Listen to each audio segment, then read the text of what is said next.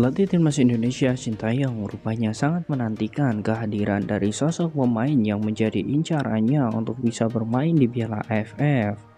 Ini terbukti bagaimana seriusnya Sintayong agar Indonesia mendapatkan satu slot untuk bisa mendapat juara di Piala AFF kali ini. Ya, diketahui di level timnas senior Indonesia belum pernah untuk bisa mengangkat trofi Piala AFF ini.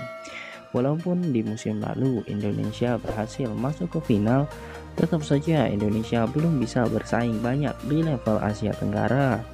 Pasalnya belum bisa sama sekali untuk bisa menjuarai turnamen bergengsi tersebut. Oleh sebab itu, Sintayong tak main-main. Diketahui Sintayong masih menyisakan satu tahun lagi kontraknya bersama Indonesia.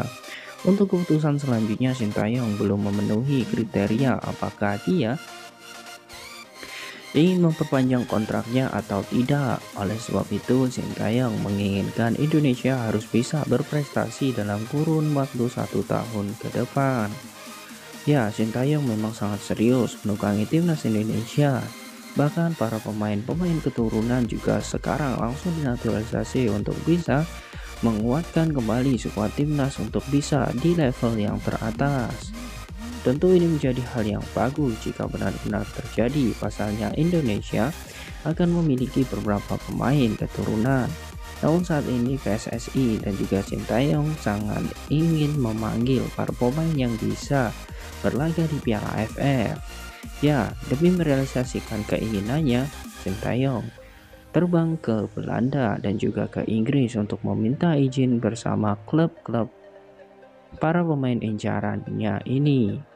Sintayong terbang ke Inggris untuk menemui perwakilan Gillingham.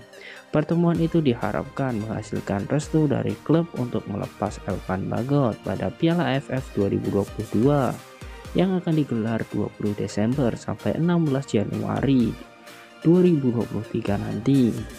Ya, Sintayong berangkat menuju klub Elkan Bagot mengadakan pendekatan supaya Elkan mengatur jadwal Mana tahu bisa dilepas, ucap Indra Safri kepada wartawan.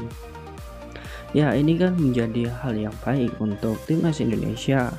Belum lagi Sandy Walsh yang memang masih memiliki kendala bersama klubnya.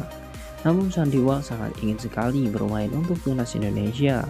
Sandy Walsh juga mengatakan bahwa dirinya ingin segera dipanggil dan PSSI maupun Sintayong bisa bernegosiasi dengan klubnya.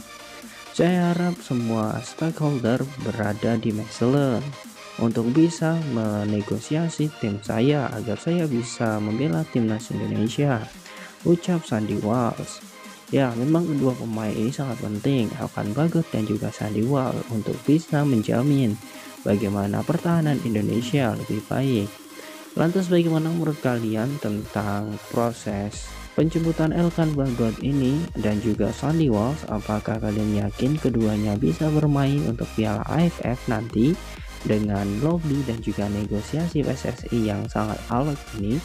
Silahkan kalian tulis di kolom komentar.